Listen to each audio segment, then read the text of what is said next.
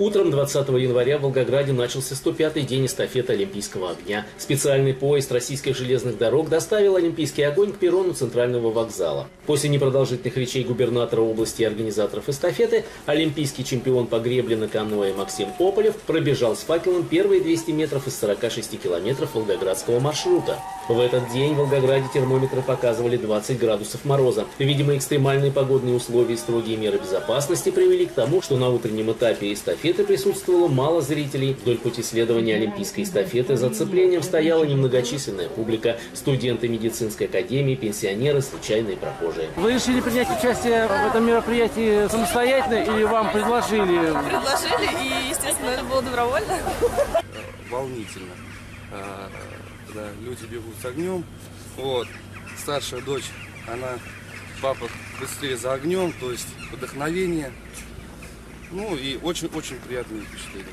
Как статус дополнительный для города. Город-герой. Мы должны принять эстафету Олимпийского огня. У нас масса э, учреждений спортивных Олимпийского резерва. Бежали, вот посмотрите, с, с луком, потому что ну, это раз в жизни. Я сама никогда не присутствовала на таких мероприятиях. Только Олимпиаду один раз в Москве, и то по телевизору смотрела. Я бежала от, с, с, с горной поляны на набережную. Понимаете, какое, какое расстояние? Я почувствовала себя крылен. Еще больше сил даже ну, то, что получилось у меня. Особенно отсутствие зрителей было заметно на центральной набережной города. Здесь за эстафетой Олимпийского огня наблюдали только дворники, волонтеры, полицейские и журналисты. У фонтана Дружбы народа в своей очереди ждал факелоносец, президент клуба «Ночные волки» Александр Залдостанов, байкер-хирург. Такое ощущение все радостное. Я приехал все-таки поддержать Сталинград. Вы понимаете, город, с которым у меня уже сейчас что-то связано в жизни. Вот, и э, э, город трагичный во всех случаях, но и в то же время город победы. Недавние теракты в Волгограде стали причиной строгих мер безопасности, которые предприняли стражи порядка по пути следования Олимпийского огня. Несмотря на пережитый в те трагичные дни страх, многие волгоградцы все же пришли на это массовое мероприятие. Вы не опасаетесь вот после терактов э, массовых мероприятий нет, в городе? Нет. Почему? Ну, если, как говорится, думать о плохом, то вообще а жить-то не стоит. Нет.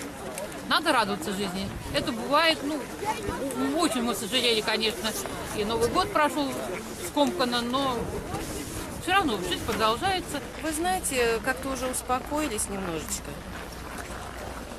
Как бы первый бум прошел. Не пуга... Меня не пугает лично. И вот с кем общаюсь, в принципе, разговоры даже об этом и не было. Мне кажется, то, что большое количество наших мужественных, хороших полицейских нас обязательно ну, как бы защитят. Из центрального района эстафета Олимпийского огня проследовала в Дзержинский район города. Прилегающие к пути следования факелоносцев дороги были перекрыты оцеплением. Практически весь центр города до полудня был пуст. Автотранспорт стоял за ограждениями в пробках, горожане перемещались по обходным дорогам пешком. На работу опаздываете? На или работу. Да, да. Не проехать, не пройти.